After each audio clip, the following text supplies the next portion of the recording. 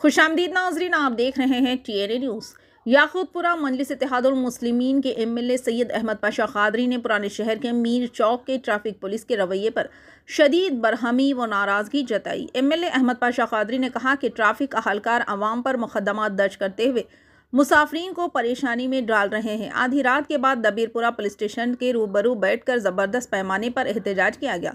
गुज्त कुछ अरसे से मीरचौक के ट्रैफ़िक पुलिस पर लोगों को हरासा करने का इल्ज़ाम लगाया जा रहा है। इसके साथ ही रात देर गए के बाद एमएलए मैदान में आ गए और बड़े पैमाने पर एहतजाज किया और ऑफिसर्स पर शदीद नाराज़गी व बरहमी ज़ाहिर की। आइए देखते हैं ये रिपोर्ट।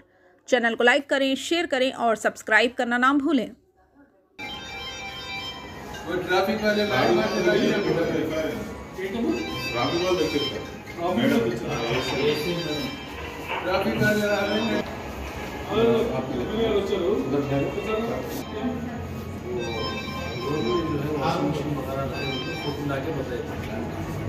क्लियर कर दी उनको जब भी क्लियर कर दी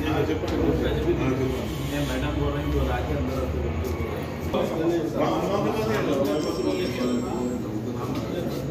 वालों को कहा मैडम कुछ है नहीं मैडम जैसा कुछ कर दिया एफ़ आई आर कर दी ऑप्शन वाला दिया ना अब नहीं करेगा सामने से बंडी आगे जा रहे जहाँ साहब कुर्सी पे जाते उतर के उसकी तराजू ले लिए गाड़ी में रख ले चले मैं बच्चे को भेजाते बोले नहीं सर्कल साहब से बात करो।